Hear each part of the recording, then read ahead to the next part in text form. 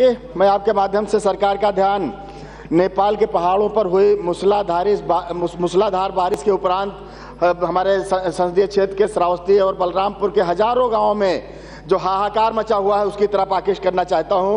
माननीय अध्यक्ष जी हमारे संसदीय क्षेत्र के दोनों ज़िले श्रावस्ती और बलरामपुर जो नेपाल सीमा से लगे होने के कारण नेपाल के पहाड़ों पर जो बारिश होती है सीधे प्रवेश करती है और पानी इतनी तेज़ी के साथ आता है कि लोगों को संभालने का मौका नहीं मिल पाता है। बुध बुधवार को हुई भारी बारिश की वजह से आज हज़ारों गाँव जो है जलमग्न हो गए हैं। राप्ती का जलस्तर लगातार बढ़ रहा है। राप्ती का जलस्तर बढ़ करके one zero four point eight five zero पहुँच गया है और लगातार पाँच सेंटीमीटर प्रति घंटे की रफ्तार से जलस्तर बढ़ रहा है। मान्य जी हमारी मांग तो आ जाने दीजिए प्लीज़ प्लीज़ मांग आ जाने दीजिए। सब सबसे पहले बाढ़ में फंसे लोगों को रेस्क्यू करके सुरक्षित स्थानों पर पहुँचाया जाए। बाढ़ चौकियों की और बाढ़ बाढ़ राहत शिविरों की स्थापना की जाए।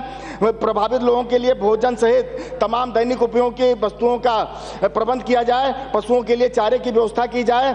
श्रावस्ती बलरामपुर में पीएससी की एक फ्लड बटालियन की स्थापना की जाए S D R F unit की स्थापना की जाए क्योंकि ये प्रत्येक वर्ष की समस्या है माननीय अध्यक्ष जी पिछले पिछले पिछले.